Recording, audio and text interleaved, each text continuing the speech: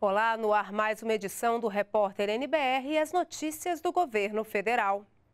O presidente Michel Temer se manifestou pelas redes sociais sobre o assassinato da vereadora Marielle Franco, do PSOL, e do motorista Anderson Pedro Gomes. Os dois foram mortos a tiros na noite de ontem, no Rio de Janeiro. O presidente qualificou o ato como de extrema covardia, prestou solidariedade à família e amigos e afirmou que acompanha a apuração dos fatos para a punição dos autores do crime. Michel Temer também informou que pediu ao ministro da Segurança Pública, Raul Jungmann, para colocar a Polícia Federal à disposição para ajudar nas investigações. O presidente enfatizou que esse crime contra a vereadora e o motorista não ficará impune. Marielle Franco nasceu e foi criada no Complexo da Maré, uma das regiões mais violentas do Rio de Janeiro. Ela era socióloga, com mestrado em administração pública e atuava na defesa dos direitos humanos. Marielle foi a quinta vereadora mais votada nas eleições municipais de 2016. E agora há pouco, o presidente Michel Temer anunciou a retomada das obras do BRT de Goiânia. A estimativa é de que a obra de mobilidade urbana beneficie diretamente 120 mil pessoas na capital de Goiás e na região metropolitana. O investimento total chega a 270 milhões de reais. O presidente Michel Temer destacou que a obra garante dignidade e assegura um direito previsto na Constituição. É uma gratíssima satisfação celebrar com todos os senhores né, e as senhoras uh, esta retomada das obras uh, do BRT de Goiânia, que eu verifiquei ao longo do tempo e verifico agora pelas palavras ditas que é uma obra desejada, ansiada, buscada, pleiteada né, há muito tempo uh, por Goiânia. O que mais o, o pai, a mãe de família quer é um deslocamento ágil, um deslocamento rápido. Né? Isso está muito ligado à ideia, é interessante a ideia é, constitucional é, da dignidade da pessoa humana. Uma, as coisas indignas são é, falta de emprego, nós estamos combatendo o desemprego, será, serão deslocamentos muito longos, não é? Vejam que quando surgiram movimentos pela mobilidade urbana, não é, Baldi? Uh, em 2013, 2014, foi porque é interessante as pessoas conseguiram adquirir seu carro, mas ao adquirir seu carro entram no trânsito nas grandes cidades e levam duas, três horas para chegar ao trabalho de igual maneira para voltar para casa, ou seja, algo indigno. O BRT, de alguma maneira, traz a ideia dessa dignidade de locomoção, digamos assim. A pessoa chega mais cedo em casa ou chega mais cedo no trabalho. E termina hoje o prazo para a inscrição no FIES Seleção.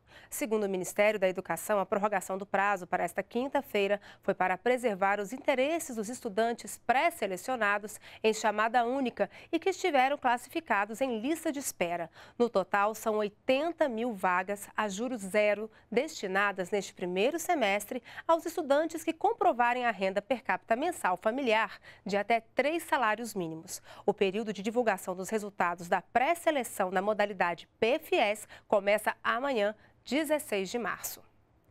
E ainda falando em educação, uma maneira de conseguir o certificado de conclusão do ensino fundamental ou do ensino médio é o INSEJA, o Exame Nacional para a Certificação de Competências de Jovens e Adultos. E o Ministério da Educação anunciou novidades para as provas de 2018. A expectativa é que em 2018 o Enseja supere o número de inscritos do ano passado, que registrou mais de um milhão e meio de participantes em todo o Brasil. Com o exame, é possível obter a certificação de conclusão do ensino fundamental e do ensino médio. O INSEJA ele tem uma importância social muito grande, porque ele permite que as pessoas que perderam a oportunidade de realizar a educação na idade certa voltem ao sistema ou ingressem no mundo do trabalho com uma certificação de nível, tanto fundamental como nível médio. o significado social é esse resgate, é essa perspectiva de ampliação da cidadania. Uma novidade do Enseja para este ano é quanto às faltas dos participantes. Agora, a ausência no dia da prova deverá ser justificada. Gratuito, o Enseja Nacional teve uma taxa de ausência de 60% em 2017. E para evitar prejuízos aos cofres públicos, o Ministério da Educação decidiu mudar vai ter que pagar a inscrição. Se ele quiser fazer o ano que vem de novo, e pra, obtendo a gratuidade, ele deverá ressarcir o INEP dos custos deste ano, onde ele se inscreveu. Nós gastamos toda a, a energia e a verba para é, providenciar impressão de provas, é, meio de transporte, correção, e ele não compareceu. O Enseja tem quatro provas objetivas e uma redação. No calendário deste ano, as provas serão em 5 de agosto para o Enseja Nacional e 16 de setembro para quem mora fora do país.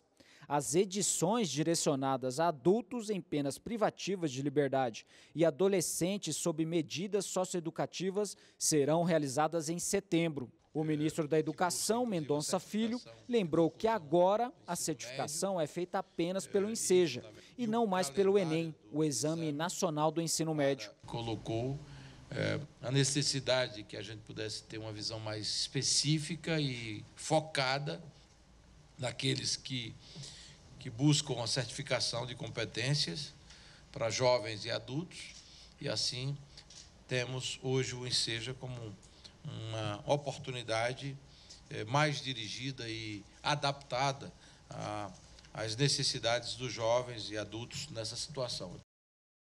As inscrições para o Enseja Nacional devem ser feitas entre os dias 16 e 27 de abril pelo site que aparece aí na tela.